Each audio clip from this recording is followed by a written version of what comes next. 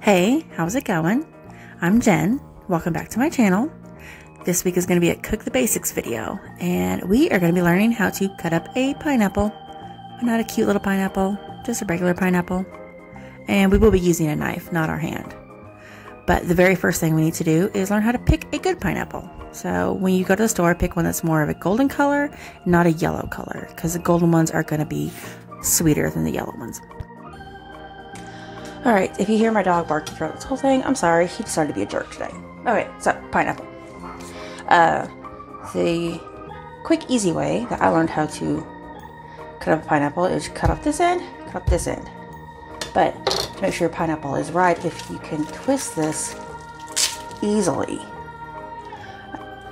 there's that, and then it gets this out of the way, so you have a little bit of an easier time.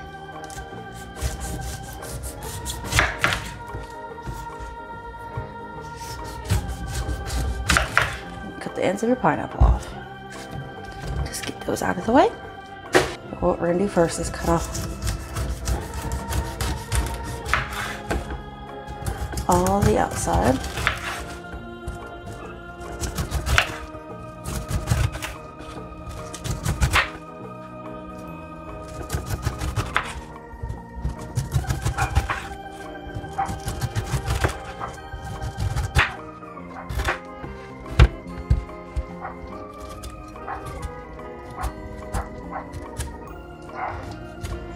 Clean up any parts that are left there. Let's get rid of all this now.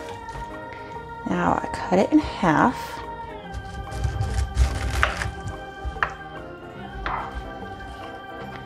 And see the core right here. So what I do is I cut it in half again. And then I cut the core out just straight down.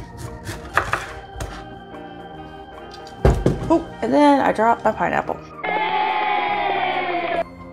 The core, I, I don't use it for anything. I'm sure you can find use for it. You could Google it. I'm sure Google has uses for it, but I personally do not know of any, but I'm, you know what? I think I'm gonna Google it, see what I can do with it.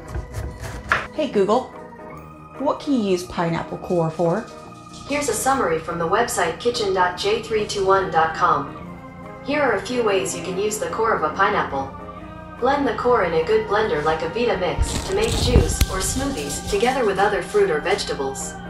To make pineapple broth, blend the core together with tomatoes, cabbage, celery or whatever you think is suitable to make broth, and more. By the way, this device is set to do not disturb mode. I know, I set it to do not disturb mode. Apparently, you can make broth out of it. So, if you were really all about that uh, zero waste life, you could put those in a blender, make your pineapple smoothie. They're just really hard to chew, very fibrous, but you know, fiber is not a bad thing. Have your core out. Then you could just go ahead and cut it into bite-sized pieces or whatever size pieces you need it for. So I hope this has been helpful. You know, if you like pineapple and always bought it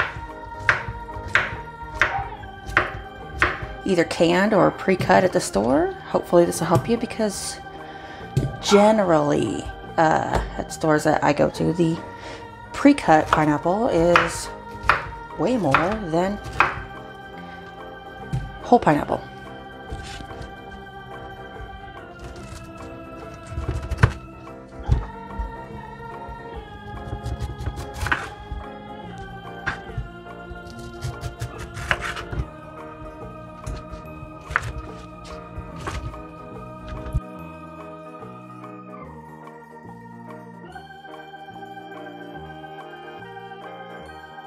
So there's this. Uh, I hope it was helpful.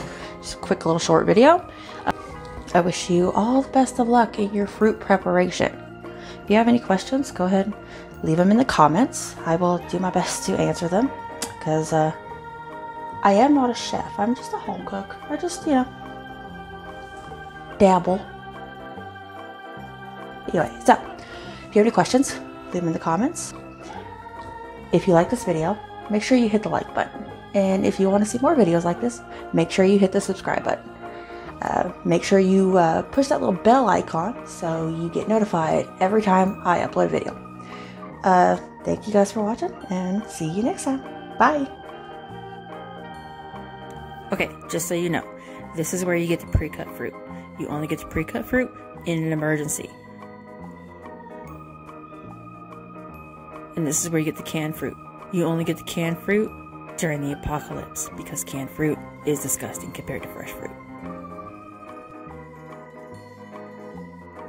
And now, here's a video of my dog being adorable. Enjoy! Trying to fold laundry, but then this little bug climbed up in my lap. And every time I stop petting him, he gives me that look. And how can you say no to that face? It's just so cute. So we've been doing this for 15 minutes instead of folding laundry. And I'm okay with that.